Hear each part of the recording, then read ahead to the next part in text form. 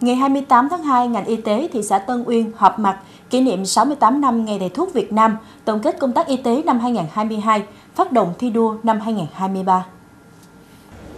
Thời gian qua, ngành y tế thị xã Tân Uyên đã luôn cố gắng nỗ lực khắc phục khó khăn, thực hiện tốt các nhiệm vụ chỉ tiêu kế hoạch về khám chữa bệnh. Đặc biệt trong thời gian đại dịch Covid-19 bùng phát, đội ngũ cán bộ, nhân viên y tế đã kiên cường, bền bỉ cùng cấp ủy, chính quyền và nhân dân trong thị xã, đoàn kết phòng chống đẩy lùi dịch bệnh.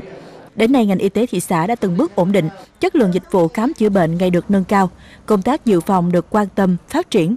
Thời gian tới, ngành y tế thị xã Tân Uyên phấn đấu đạt và vượt các chỉ tiêu kế hoạch đã giao về thực hiện các chương trình mục tiêu y tế quốc gia, xây dựng hệ thống y tế theo hướng công bằng, hiệu quả và phát triển, nâng cao chất lượng dịch vụ y tế, đáp ứng nhu cầu ngày càng tăng, đa dạng về chăm sóc, bảo vệ và nâng cao sức khỏe nhân dân.